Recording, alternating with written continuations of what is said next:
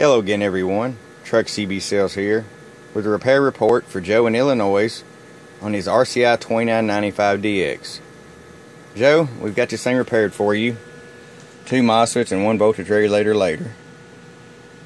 You see that?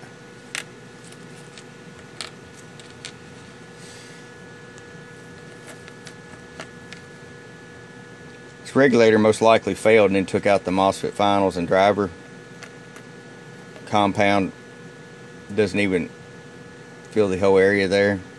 Probably wasn't very good heat transfer. Factory defect.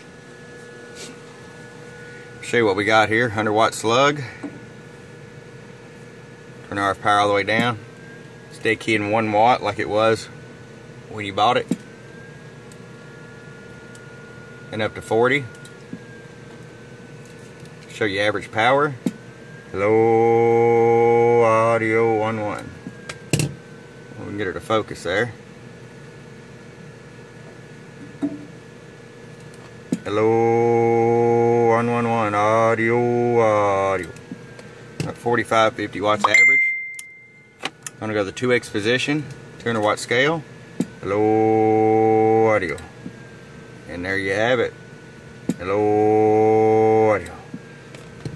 over about uh, 185, 190 watts. Joe, it's ready to come back to you, my friend.